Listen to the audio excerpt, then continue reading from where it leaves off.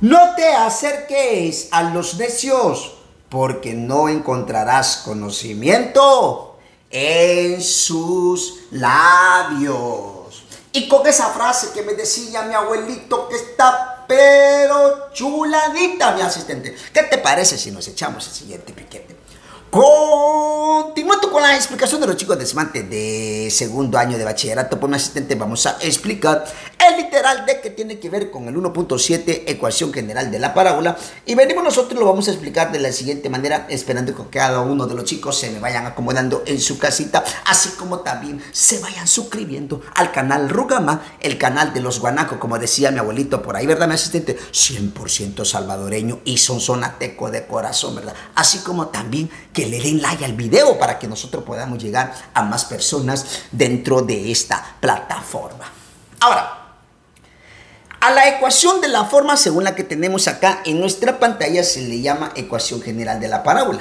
En general, para determinar los desplazamientos verticales y horizontales en una ecuación de la forma, según lo que tenemos acá en el literal D, se completa cuadrado perfecto y se expresa en la forma eh, y menos k igual a 1 sobre 4p, paréntesis x menos h, cerramos paréntesis al cuadrado, teniendo en cuenta de que el vértice sería h, k. Y no hay que perder de vista de que dice, para cada literal, según el que tenemos acá, determina el vértice y grafica la parábola correspondiente. Ahora, primer paso, mi asistente. Vamos a despejar y. ¿Cómo? Bueno, pasémoslo a miembro derecho y pasaría con signo cambiando. Entonces vamos a volver a copiar menos x al cuadrado más 2x más 1 igual, está negativo, pasa positivo. Ahí lo tenemos. Siguiente paso, vamos a completar cuadrado perfecto para x. ¿Cómo? Bueno, que nosotros digamos lo siguiente. Bueno, aquí podemos decir primeramente, chicos y chicas, menos, para que el término x al cuadrado lo dejemos positivo, dejémoslo en paréntesis y decimos x al cuadrado. Luego vamos a decir lo siguiente, eh, más entre menos da menos. Colocamos 12x, dejamos este espacio donde nosotros vamos a sumar y vamos a restar mi asistente, ¿qué te parece? Para completar lo que es ese cuadrado perfecto. Y vamos a colocar por acá el más 1. ¿Igual a qué? Igual a y. Ahí lo tenemos. Entonces vamos a completar aquí como a que nosotros digamos eh, lo siguiente. A que vengamos nosotros y digamos, vamos a sumar primeramente. Tenemos aquí lo que es 2.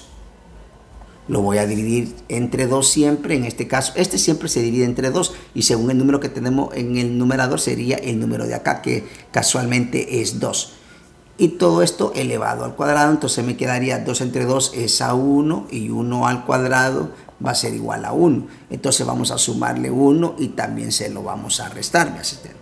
Luego, a partir de aquí vamos a completar lo que es el trinomio cuadrado perfecto. ¿Cómo? A que nosotros digamos eh, lo siguiente. Lo vamos a hacer por acá. Tenemos x al cuadrado menos 2x más 1 la raíz cuadrada de x al cuadrado es x, la raíz cuadrada de 1 es 1.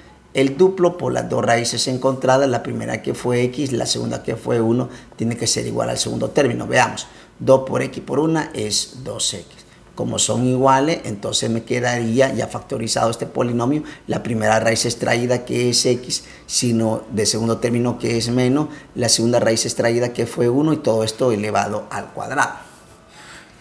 Entonces, decimos nosotros lo siguiente, como tenemos negativo acá, vamos a decir eh, menos corchete, paréntesis, este polinomio me quedaría, ahí lo tenemos, x menos 1, cerramos al cuadrado, luego decimos acá menos 1, cerramos corchete, más 1, igual a y.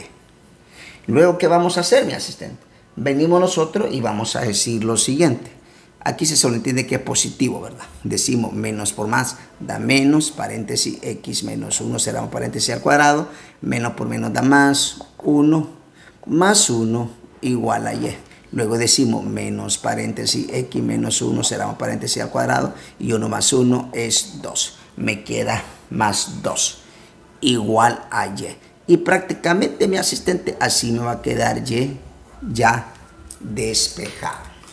Ahora, como siguiente paso, según lo que tenemos acá, es la expresión que tenemos acá, pero aquí lo tenemos ya despejado Y. O sea, es como que nosotros dijéramos Y y este está positivo, pasaría con signo cambiado, entonces me quedaría menos 2 igual 1 sobre 4p, paréntesis, x menos, y en este caso h, bueno, este menos es de fórmula. Es de fórmula. Ah, entonces h sería en este caso 1 elevado al cuadrado. Y bien podemos decir que h es igual, según lo que tenemos de fórmula, entonces h vale 1 y según lo que tenemos acá, según lo que tenemos acá, ¿verdad? Y acá, menos de fórmula, ah, entonces que acá vale 2 positivo. Entonces el vértice me quedaría, según la expresión que tenemos acá, h que sería 1, y k que sería 2. Ahí lo tenemos. Ahora, luego qué vamos a hacer? Bueno, venimos nosotros y hacemos lo siguiente. Vamos a trazar la gráfica, mi asistente, ¿qué te parece? Y nos echamos el piquetazo, como decía mi abuelito por ahí, ¿verdad? Y lo vamos a explicar así.